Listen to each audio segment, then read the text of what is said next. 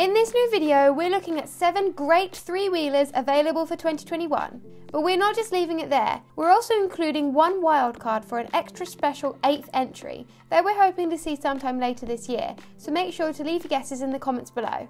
Let's get into it, shall we? Kicking the list off, we've got the Piaggio MP3 HPE Sport 300.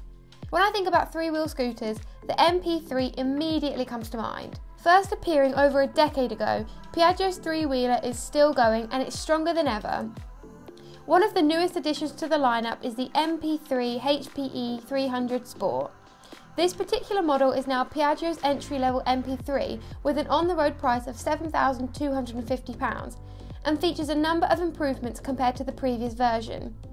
Firstly, the most noticeable upgrade is the engine, now utilising the same 300cc HPE engine seen in the Vespa GTS, but with a few tweaks to squeeze even more power out of it. The improvements don't stop there either. This new model has a brand new visual design that cuts away some of the old bulk, resulting in a more streamlined and agile aesthetic. Then there is Piaggio's multimedia platform that's able to connect to your smartphone and provide a range of handy functions, including reports on the general state of your scooter, as well as providing maps and details of your recent trips. The MP3 HPE 300 can also be ridden with a standard car driver's license. That's dependent on your license entitlements though. It handles much like a twist and go scooter with its quadrilateral suspension, allowing you to lean like a regular bike, but with the increased traction and stability of three wheels. A locking mechanism also allows you to remain upright when you come to a standstill, and there's even a handbrake too. Before we move on, I just wanted to mention that fresh for 2021, the new MP3 400 HPE Sport should be added to the range. Expect to see four colour options, a 399cc single cylinder four stroke engine producing a claimed 39.9 brake horsepower, and the same ABS and traction control across the range. We're excited to see this machine join the fleet. Next up, the Yamaha Tricity 125. Yamaha's Tricity 125 is a little bit different to the other three-wheel scooters on this list. How you ask? Well, the front wheels are set up with a closer spacing to create a more agile and streamlined scooter that can cut through the traffic on an urban commute.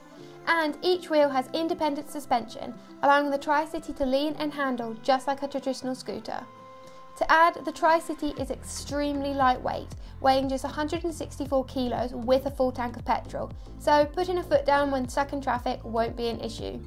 As well as that, the Tricity 125 has Yamaha's latest Blue Core engine, offering great 125cc performance and excellent fuel consumption. And whilst the narrow front end does mean that this can't be classified as a trike and therefore can't be ridden with a car license, Yamaha have made sure this 125cc is still very accessible, affordable and an A1 license friendly machine with a price of just £4,149, making it one of the cheapest on the list. All in all, if you're curious to try out a three-wheeler, this could be a cost-effective way to get started. Moving on to Peugeot's Metropolis Allure. The Metropolis Allure is Peugeot's entry into the three-wheel scooter market and meets all the requirements to be ridden with a car licence, including an upright locking mechanism, foot brake pedal and wide front wheel spacing. Updated for 2021, the Metropolis offers a lot of technology, including its dual tilting front wheels, ABS and even switchable traction control on the more deluxe versions. There's a tyre pressure sensor in place as well as daytime running LED lights for maximum visibility. Spherical mirrors aim to increase your field of vision in traffic and there's an electronically adjustable windscreen.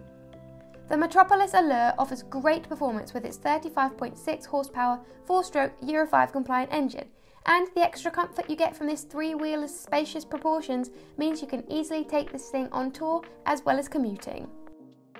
Up next, Yamaha's Tricity 300. Similar to the Tricity 125, this larger capacity model features Yamaha's Blue Core engine.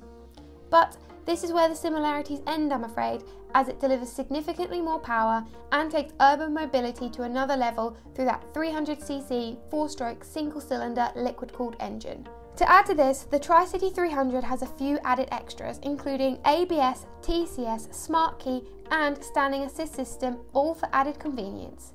Speaking of convenience, a large under-seat storage space is also included, which is always handy, especially if you're using this as a commuter.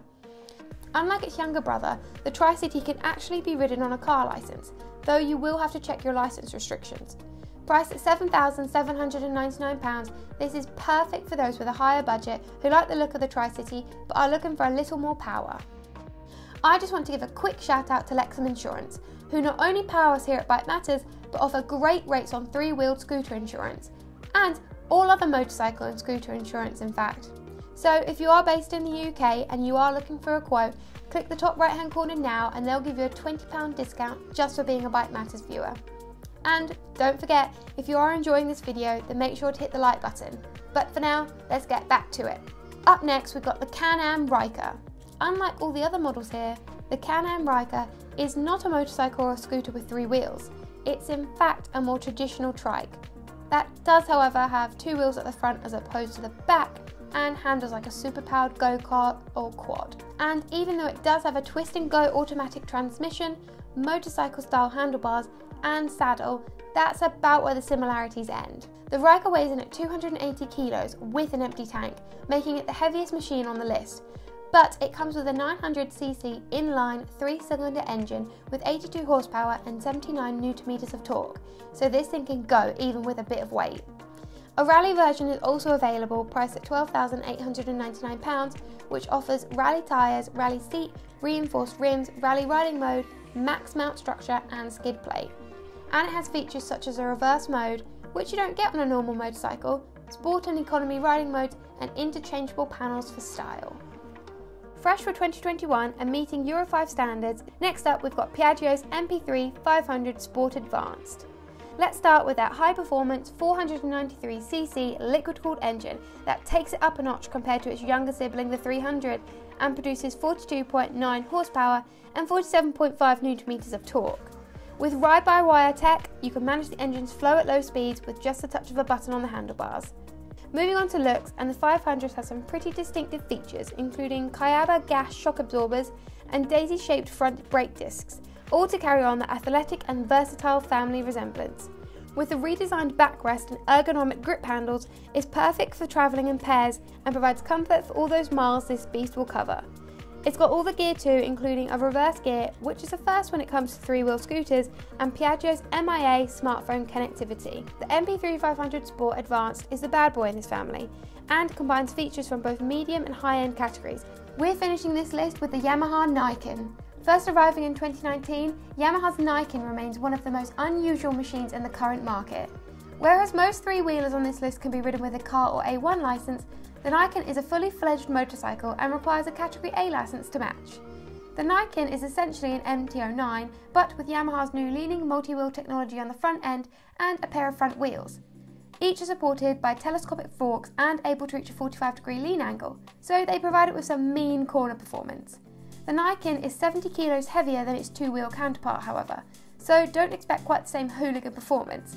With that said though, it's no slouch either, as it can easily hit 120 miles per hour top speeds. The Niken excels in its stability, and let's not forget the extra comfort and windshielding offered from its design. As a result, this three-wheeler is very well suited to touring, and Yamaha recognised this by adding a GT version to the lineup. The regular Niken starts at £14,202, with the Niken GT costing £15,502. Both versions come loaded with features including traction control, adjustable suspension, ride modes, slipper clutch and cruise control. So if you're looking to try something new, there's nothing on the road quite like this. I promised you a wild card, didn't I? Well, here it is. Likely to be arriving in 2021, the Kymco CV3 is the brand's first attempt at a three-wheel scooter, and it features quite a few standout characteristics, such as front upside-down suspension, a newly designed rear fork and adventure-oriented tyres, all for comfort and the added ability to tackle any road condition. A power transmission matrix that balances the scooter and allows for better handling. And with that front two-wheel design, you'll feel stable and confident while riding. Weight-wise, it's on par with Can-Am's Ryker, so it's going to be quite hefty, and it is less powerful. But the CV3 has the looks, comfort and spirit of any true three-wheeled scooter, and we can't wait for it to hit dealers in the UK, and that's soon hopefully. Well, there you have it. Seven of the best three wheelers for 2021, plus a special wildcard. We want to know what you think though. Do you agree? Do you disagree? Are you excited for the release of Kymco's CV3? Let us know in the comments now. But for now, over and out, I'll see you on the next one.